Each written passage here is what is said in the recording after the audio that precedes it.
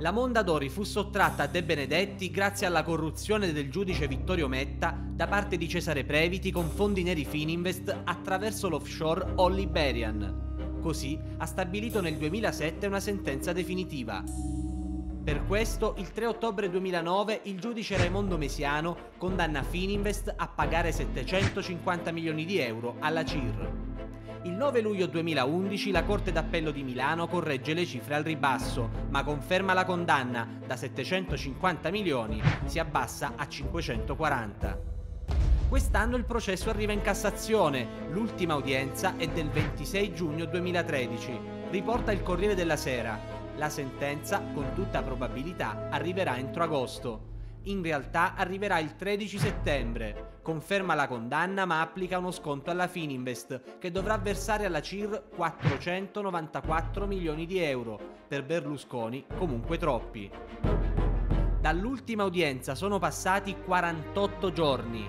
È su questo ritardo che Berlusconi coltiva i suoi dubbi e lancia le sue accuse. Riascoltiamo cosa ha detto.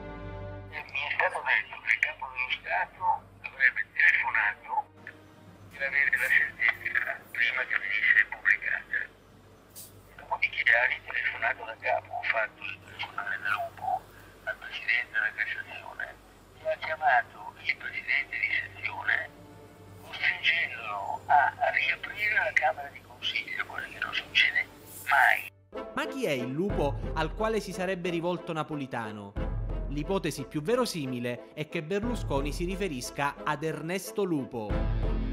È stato primo presidente della Corte di Cassazione dal 2010 fino al maggio scorso. Oggi è il consigliere giuridico della Presidenza della Repubblica, incarico ricoperto in precedenza dallo scomparso Loris D'Ambrosio.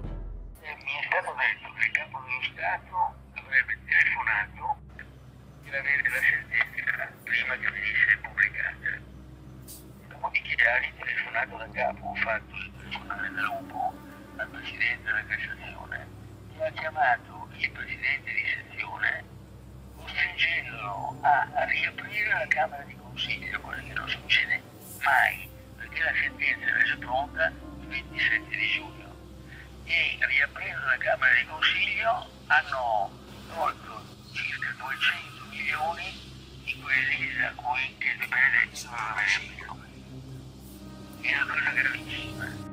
Abbiamo fatto ascoltare nella quale Berlusconi lamenta ingerenze del Quirinale sui vertici della Cassazione sulla Domondadori. Quindi era un incubo, è stato un incubo, diciamo a occhi aperti, di Silvio Berlusconi